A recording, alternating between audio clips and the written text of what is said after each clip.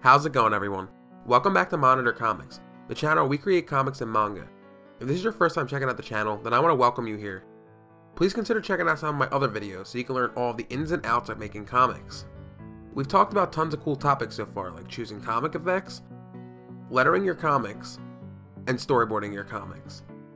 If you didn't already know, I have all of my tutorials packaged in a nice playlist. I'll link that down below so you can reference them later. Today's video is going to be a follow-up to one of my last videos. Specifically, I want to revisit the video where I discussed whether or not Western comic book artists who draw in the anime style can really consider themselves manga artists. I was thrilled to see so much engagement on that video, and I tried my best to reply thoroughly to each and every one of you. You all made some very good points, and so much so that I wanted to make a part 2 to that video. If you want to hear all my original thoughts and opinions on the topic, be sure to pause this video and go watch that one right now.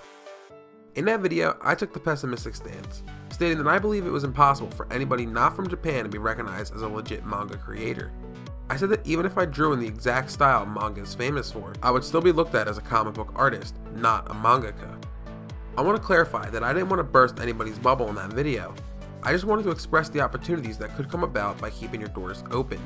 By not limiting yourself to just manga, you could have your work published in Marvel, DC, Image, Dark Horse, and much much more. I want to dial it back and take the opposite stance, because like you, as a child, it was my dream to see my work become animated one day. I'll level with you. I barely watched television shows growing up. I was a heavy anime and manga fan, and all of my spare time I would read Bleach and watch literally hundreds of different shows. My own art style is heavily influenced by manga art, so it was very hard for me to take the stance that I did in the last video. So, now that we're on the same page, let's begin talking about how foreigners can be considered real manga artists. I guess the most recent example I should start with is Radiant by Tony Valente. Tony is a French artist who publishes Manfra, or French comic, with a company called Ankama. Due to its success, it was picked up by a Japanese publisher by the name of Asuka Shinsha. Radiant has gone down in history as the first French manga published in Japan. Radiant eventually got licensed by Viz Media, allowing it to be translated in German, Italian, Spanish, Portuguese, and English. Recently, Studio Lerche, best known for Assassination Classroom, Scum's Wish, and Monster Musume, has adapted the manga into a full anime.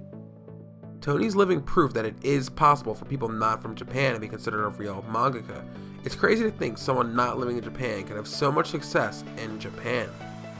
The next recent example I can think of is Boichi, the artist behind Shonen Jump's hit series Dr. Stone. Boichi isn't actually from Japan, he was actually born and raised in South Korea, Growing up, Boichi always knew that he wanted to be a manga artist, but he started his career out drawing manhwa, or Korean comics. He published several works professionally, but eventually moved to Japan to pursue traditional manga professionally.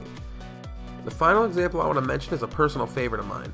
Shindo L is a professional adult manga artist, best known for his H series, Metamorphosis. If you're under the age of 18, please don't look this one up. Honestly, if you're over the age of 18, I wouldn't recommend you look this one up either, unless, you know, you like being scarred mentally. Shindo L was born in New York and spent most of his early career drawing manga-style comics and publishing them online. He gained the attention of many Japanese publishers and eventually moved to Japan to pursue manga professionally. While he did end up moving to the center of the manga industry, it's impressive to note that he found success while he was overseas in New York. Looking back at some of my earlier points, I made the argument that unless you were physically living in Japan, you couldn't really be considered a real manga artist. I want to officially take that back. Manga is just an art style of comics that happens to have origins in Japan. I'm sure there are plenty of comic artists over in the East who draw in a Western style and dream of working for Marvel Comics.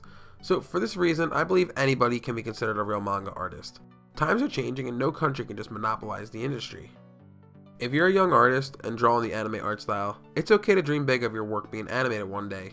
That's the dream of every artist. Just don't skip out on your studies and ignore art fundamentals. It's very easy to learn bad habits by only drawing simplified anime style illustrations. In terms of story writing, I'll stand by my point of not drawing the same generic shonen protagonist and setting your story in Japan, especially if you don't live in Japan. Don't give all your characters Japanese names for the aesthetic. Be original, but be inspired. Tell your story, not something that's already been done to death. If you're more of a growing artist and are already producing your own comics, then here are a few online publishers that encourage manga art style. Saturday AM is the first company I always recommend because I've worked with them previously. Plus Manga and Nora Caesar are also solid options if you want alternatives. While I still believe it's more beneficial to keep your options open by not limiting yourself to manga style artwork, it is entirely possible to find success with it. Anime has become way more normalized in Western culture these days. I've never seen so many anime films screened in theaters. If anything, now's the time to capitalize on this trend. Anyways, I hope you guys got some value out of this video. If you enjoyed this discussion, please drop the video a like.